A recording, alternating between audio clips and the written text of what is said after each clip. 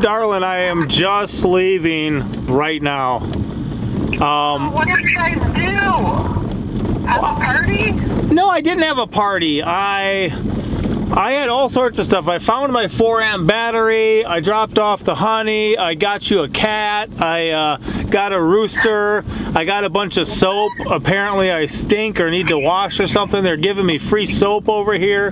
And then I ran into some problems with my trailer and the guy I asked for help's got like I don't know, electrical testing stuff right on his belt. So he just jumped out and did that right away. Um, yeah, I'm not gonna be home till late, but I don't know, I got, it was good. Oh, I'm gonna plant you some pine trees when I get home. You got what? I'm gonna plant you a couple pine trees when I get home. Whoa! I know, I know you always wanted some, and I, I got a couple of rocks to add to my collection. So, Nice. all right, I'll see you in like two hours. I gotta stop and get something to eat on the way home with these boys. all right, we're gonna make tortillas and some beans for dinner. Bugs, Alright. Bugs said we're hungry. I love you. Bye bye. Oh, well, all right, send us a picture of the kitty. I can't. You can. I can't. Okay. Bye bye. We'll talk to you later. Bye.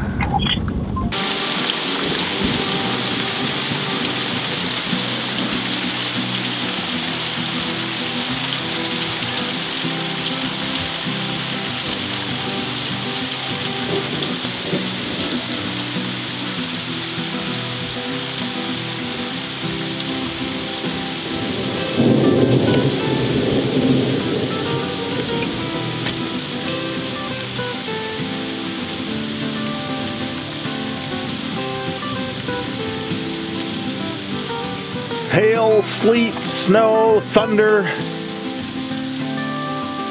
It's pretty rough out here.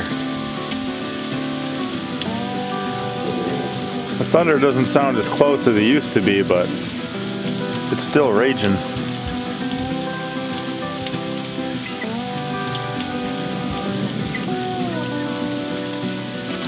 Sounds like a train car is hooking up at a train yard.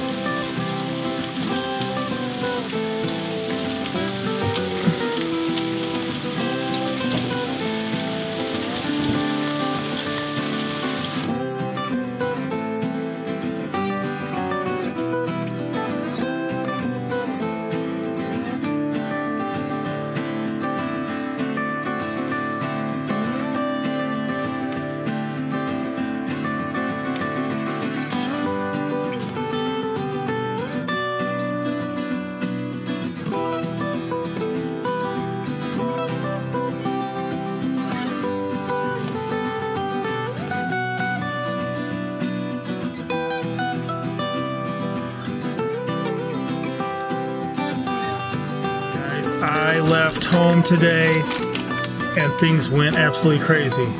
I'm bringing home a rooster. I'm bringing home a cat. I'm gonna get my wife back. She once gave me a cat and then took it away. And I took it kind of hard. I'll, get into that in a minute.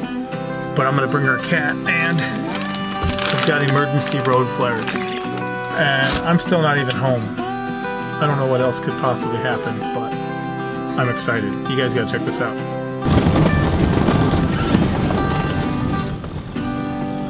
Welcome back to the Abundant Harvest Homestead. I am Papa Pepper, and this one is going to be crazy. Wow. But it's also going to be kind of some story time, but there is a lot going on here. If you guys like our channel, if you like our family, this is going to be worth the watch. And yeah, check this out. Dad, that's a lot of honey. That's a lot of honey? Yeah. It really is. Welcome back to the Abundant Harvest Homestead. I'm Papa Pepper, and one of the things you may hear me periodically talk about in on this channel is the idea of buying in bulk. Um, I actually have over 50 pounds of beeswax and like 16 buckets, five gallon buckets of honey in the back of my truck right now. That may seem a little extreme, but I'll tell you what, it is buying in bulk. And what happened is we have our own bees, but we're new at it, so we're not exactly generating more than enough honey that we need on our own property. So we still have to outsource that. So rather than going to the you know, store and getting a pint or a quart every time I want some more honey, what we like to do, and we have for years, is to pick up a five gallon bucket at a time. And honey's one of those things that doesn't really go bad. So if I buy it now, I could eat it, you know, when I'm 90, and there would be no difference really from how it is right now. It's not gonna go bad, it's not gonna rot, it's not gonna spoil, it doesn't need, you know, refrigeration. So if I'm able to get honey and get it into my possession, it'll be there when I need it. And I think that with the way that we substitute it for sugar and a lot of things and other stuff, you know, my problem is not gonna be getting too much. And you might think, well, having 15, 16 buckets worth of uh, honey in five gallon buckets, isn't that too much? Possibly, but this isn't all for me. So a friend of mine recently got a hold of me. He was gonna go do a honey run. Uh, he's gotten stuff from this guy before, which means I've gotten stuff from this guy before. And he says, hey, you want in? And I said, yeah. And he says, well, if I'm running out there, do you know anyone else who might be interested? So I said, you know what? I think I have a couple of friends. Obviously, I had a couple of friends, but a number of these are gonna be for us and my family too. And the cool thing is if you're dealing directly with someone who's producing, you can cut out all the upcharges that you're gonna get in between there. You know, if, if the producer sells to a distributor and then the distributor sells to some, you know, outlets, it gets marked up every step of the way because everyone needs to kind of take their cut. If they're doing this financially, they're gonna be doing it to make money, so they're gonna have to add money to their cost each time. And if we can just cut those middlemen out, that's a great opportunity for us. Now, this, I've got a little bit of uh, distribution to do. Um, I'm just doing it at cost for some guys, you know, I just want to run around see some good friends of mine, bless them with something that was a huge blessing to us, and then, you know, they're going to do the same thing. They just enjoy seeing us, hanging out with us, so it's a good excuse. And I do look forward to the day when our honey production gets up to the point that we're going to have extra produced right here on our homestead.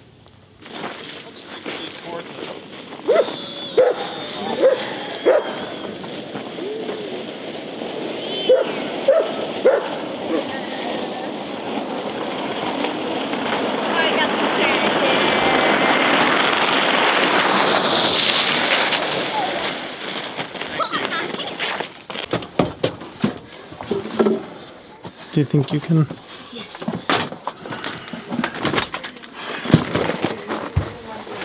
Honey, I'm home. Here's your cat. Happy birthday. Is my cat happy birthday? Yeah. Do on to others. That's a big cat. Do on to others. I didn't come say kitty. I said cat. What's the cat's name? I was at a friend's house and they're like, hey, you want to take a cat home with you? And I said, yes. Yes, I want to take a cat home. And then he goes, what? Really? I said, oh yeah. oh yeah. I've been through this before. It looks like a smoky uh, Smoky T-bones? T-bones. Yeah, so there you go. Now you're a cat lady. Woohoo! How do you like that? We like it. So you might want to keep it kind of caged up or we got to home it. We have to let her understand. I would go a couple days. And um, right now it does not play well with others. So it's a project pet for you. Oh yeah. Hey, dot dot dot. I'm home. We wanted to not play well with mice, right? Oh, what a crazy. Uh, darling, I have so much for you. So much for you. The table's not cleared. Clear the table. You're going to love your life. Ate our dinner. Papa came home. Okay, I'm feeling better after eating those bean tacos. My stomach That would make better. sense. Good. I got some meow mix. I don't know what flavor it likes, so I just went with original. Because I looked at the cat and it looked original. Is it a male or a female? It's a female. Okay. I was thinking Megan would be a good name. Oh, I gotta throw up. That's probably just probably just a hairball. we can't do that, darling. Because you're a cat. Hey, No. careful, buddy. Don't put your fingers. Hey, little man. Don't. put- He's gonna clean up the floor already. What a guy. You could name it Maggie. Maggot? No, Maggie. Oh. Hi, Maggie. So, on our last culling day, um, we really had to shrink down our our amount of roosters, and we saved one that was kind of of the barred rock flavor. He was what 75%.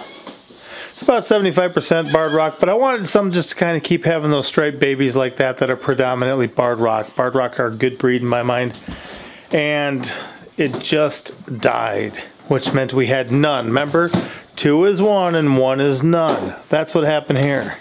When did that thing die? Like two days ago? Three days ago? Yesterday? My life travels way too fast if that was only yesterday. I thought that was like two or three days ago. Whoa. Yesterday that barred rock rooster died. Right, yesterday? That was yesterday. Well, today I wound up somewhere and um, was hanging out with a couple of friends. I, I, passed by their area. They were next door. Got to say hi to them. Um, they're the ones who use like a, a super old school um, incubator.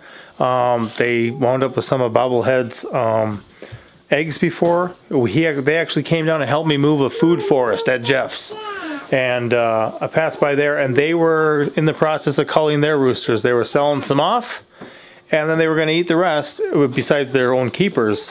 And um, I had my eye on this one as a replacement because we just lost the one yesterday.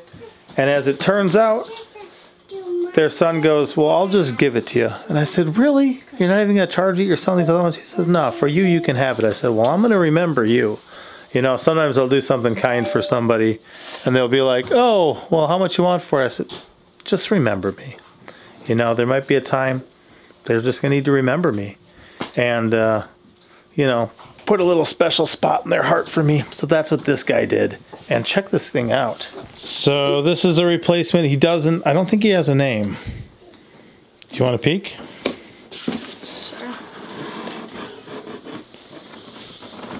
This looks like, uh, it looks like, what's his name? Well, we want to peek too. That looks like, um, what's his name? Ted Danson? Long legs, that guy. This looks like the tall guy. And, um, Yeah. I can find out what breeds uh, he is. It's it's predominantly barred rock, but there's something else mixed in. Uh, I forget. Ours was a barred rock speckled Sussex. Yeah, this one's not that. But can you lift him up for me for a minute? It's a good looking rooster, guys. We lost one yesterday, and then today we get the replacement. Look at that. Whoa. How you like him? Looks pretty good, huh? It's a good sized rooster. I think he'll do the job. He will replace. The only thing that doesn't look like our rooster was he had a, he has a flat comb. Looks Oh, like yeah? the other rooster we butchered, yeah. Oh, this guy, yeah. But this guy has all these here. So he's a good looking guy. I think he'll be a good replacement, yeah? He's definitely got the uh, the colors I like. What do you think, little man? That's a rooster, dude. That's a rooster, dude. Oh, he's watching. What do you think? Do you like it? So one thing that we like to do when we introduce a new bird to the flock is first of all, uh, quarantining is a good idea. If you're bringing a new animal onto your homestead and your stuff, put it alone by itself uh, first is the best thing to do. With this one, um, I, it's a trustworthy source. Um, they run really good with their birds, so I'm okay with introducing this to my flock. And the one thing that we like to do then, after you know, we either have the quarantine time, or in this case, bypass it, um, is to introduce them when children In the night. In the nighttime? in the nighttime. Um, if they're going to have an issue and they're awake and you throw a strange bird in, they kind of can uh, get angry. Um, but if they're all sleeping and you stick another one in next to them that just falls asleep, then they just all wake up together. And uh, that sometimes that can be a happier life. Can you uh, puff that? Yeah, neck for me again. Look at that. What a creature. Dude, it looks like the same size as you, little man. No, sweetheart. Don't, Hey, He's not gonna like that. don't pull on that. I agree. So why don't we go sneak him out right now? Not to wait.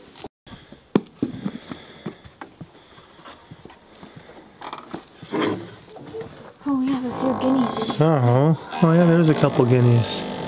See, those are the ladies there. That type of ladies we want him procreating with. I think there's some room down here, child. Put him down on this one here. We'll let them sit there and they'll wake up there tomorrow. That'll work? I think so. Nice job. You guys still use that doorstop? Uh, yes, but this door is a little bit broken actually.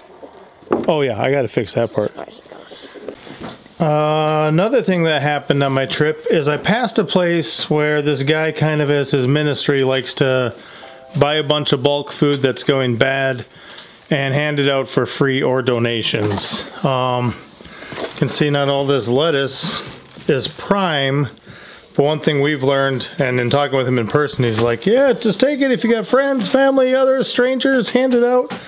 So some of the stuff that's not quite as good as we would like, we'll give to the animals too. But I got five heads of lettuce. These are collard greens. A number of them look good enough for us. Um, and then we can also give some of the chickens and stuff like that. And you know what else you could do with greens like this? You could juice them. So that would be good. Um, and then in the bottom, this celery might be just animal stuff. But there is some of these. I wasn't sure. They were apple slices, but this stuff sits out unrefrigerated in the sun all day. I couldn't really tell because it was nighttime, but there's all these little bags of cut up apple slices. It looks like they're probably not going to be for us, but um, tomorrow as a project, we can give them to some of the animals, okay? Yes, sir. So you guys will have to open some of those bags and stuff like that. But some of this lettuce and collard greens look good. Oh, and I said you could maybe juice them, right? Guess what I got for you today? A juicer? Yeah. When we came into our awesome giant pile of organic carrots for like dirt cheap, um, we gave some to some friends that were passing through. And they mentioned juicing some, and she was like, "Oh, I wish I could juice some." And they're like, "Well, we have an extra juicer." So I saw them today. I'm gonna bring that in a second. I'm gonna sort this, and we'll store some outside in the coolness, and then we'll go from there. Well, this is their backup juicer that they did not use anymore. But why is it better than our juicer? Because we have none. Because we have none. We don't even have a blender. Oh, you know what else though? What? Could you check that bag? You mentioned something when you were trying to cook a cow head recently. And I happened to stop in at a Mexican store and I thought maybe, just maybe some of this assortment could be what she was thinking. I'm not sure if anything was. Um, Not quite the same? possibly this one here. That's what I was thinking. Looks This like kind of looked bread. like some pan the dulce. sweet bread that I was talking about. It looks like a pillow, like this. And then does it get And it has like squares on it. yeah, yeah, yeah, I've seen those Pink, before. light pink. There's a like a white or tan, and then a brown colored ones. Okay. I've seen those before, but I didn't see those there. After like a super long adventure today, um, we were famished. We really were. One of our friends, the ones with the juicer, darling, they heated up some chicken noodle soup for us that they made from scratch. So while we were there, I, uh, I picked up my IBC tote. Well, that honey run trip gave me two awesome opportunities too. One is this insulated 275 gallon IBC tote. Um, I actually bought this not quite a year ago, but some guys I knew were picking up a pile of them, and I said, "Yeah, give me one." And it took me so long to pick this up that the guy who uh, footed the bill initially, I guess I tried to pay him two or three different times. Um, just because, like, oh, I gotta pay for that. He goes, no, no, no, you already did that. I'm like, oh, okay, well, I gotta pick it up then. Uh, but this is gonna be nice. And one thing about the insulated one is light doesn't get to it. A lot of people pick up the other ones and then they um, paint them black so that they don't get like algae and stuff growing in their water catchment. Here, this is already completely covered and it is insulated, but water can get in from the top. So this really needs to be under cover. Um, or water will get down into the insulation and that could start causing some trouble. And the other thing is, uh, I was offered some of this pegboard.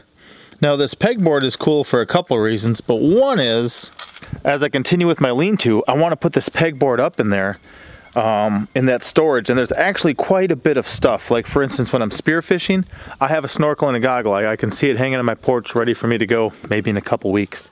Um, but if that breaks, I need another one like right away, right? So I picked up a brand new one, but I'm gonna leave it in the package for now.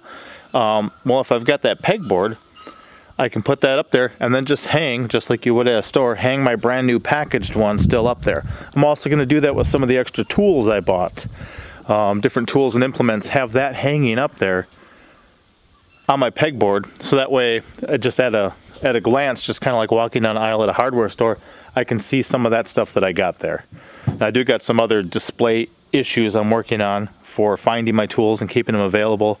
Stuff is in the garden shed, stuff is in my quail barn, stuff is in my lean-to, stuff is in my shipping container, stuff is in my house, stuff is in my truck. I've got tools scattered everywhere, and one of the problems I have, because I'm just not organized right now, because I haven't had ample storage, is that uh, often it's easier for me to buy a new one than find the one I already own. So I'm winding up with multiples of some tools. One cool thing is that as my children grow and eventually leave home, I can pass some tools immediately onto them because I'm not going to need three or four of something, um, especially if I'm organized because I'll know where all of them are. But that'll give me a good opportunity to make good use of the extra ones. But if I organize it well, then I'll quit buying extra ones, which is even going to be better. So those are two cool things from this trip that uh, I was expecting. You know, that's the reason I brought my trailer with on this trip. And heading out there gave me that opportunity. Besides dropping off the honey, making things easier for other people, besides getting a chance to visit a bunch of uh, good friends of mine, it gave me a chance to finally get this stuff in my possession. Uh, finally on the tote. This was a recent offer, the pegboard, but I'm excited about it. Now I can start putting the stuff to use, which is a whole story in itself Whoa. but also they, they, they fed us while we were there and um, then we didn't really eat a whole lot besides that and the boys did not bring a bottle of water this morning so we were thirsty and we wanted some stuff. I stopped in a mexican store i know of. And one thing i don't know if it's just from living somewhere really hot. Like if you think about it people who live really hot they should be able to pull off some good ice cream. They should be able to pull off some good refreshing drinks, um, like a real thirst quencher. And I personally find that a lot of the helados, the, the, the Mexican like popsicle ice cream guys, are amazing. I like the rice pudding ones, um, but then also some of the drinks, especially the drinks with chunks in them. So if you got your uh, salvia, um, the aloe vera, the coconut, uh, chia seed, basil seed, uh, anything like that with the chunks in it, the uh, passion fruit, you know, they're super tasty. So we stopped in to get some refreshments and they really hit the spot. Absolutely, my spirit was revived. Um, but they had that bag of random bread. The one looked like maybe some sweet bread. Mama had just mentioned that a couple days ago with that cow head. So I thought maybe I'd try and see if we could get her some of that while we were out. Darling, that's that, huh? So we can start running carrots through there? Not tonight, okay? Yes, ma'am. Tomorrow. Hey, it was a long day for me Try too. get some rest. And Mama picked up some different vegetables and stuff too, or not vegetables, fruits, to do with the carrots, right? Yeah, I Uh, did. I also picked up some extra fruits while I was out okay. for juicing, Oh, just because I knew I, I had had the juicer whoa. and would check it out. I brought home a lot of stuff. Much bigger that we had, but I'm not positive. Do you want to drink juice? Yeah? Great, Mom. I'm gonna take a little bite of this. Looks like it's got some pink dye in it. Yeah, probably.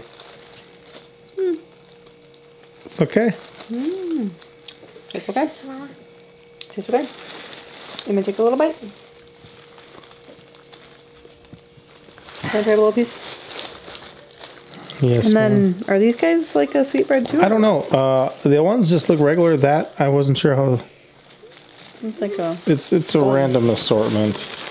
Some sort of Just- sesame bun, a giant lunche guy, and then a couple came like croissants. that? That's how it came. In the bag? Yep, that's what it was. We're seeing such an. You would like to try it, please? You can't say, "Mom, I would like to." You have to ask. Yeah, please. Mom, may I please? Yes, you may. Don't just make a statement. Ask a question. Oh, thank you, daughter. Is it tasty? Yeah. Good. Hey, it's tasty right there. these? Those are like a croissant type thing. Well, Hmm. Hmm.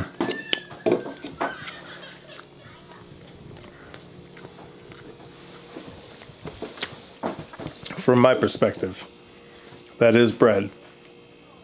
And it is sweet. So I'll go with the pan dulce. Yeah, that one definitely is. I'm gonna plant you pine trees Okay. tomorrow Do you know where? uh, in the ground. That's a dad joke. I got like seven children. I can make a dad joke.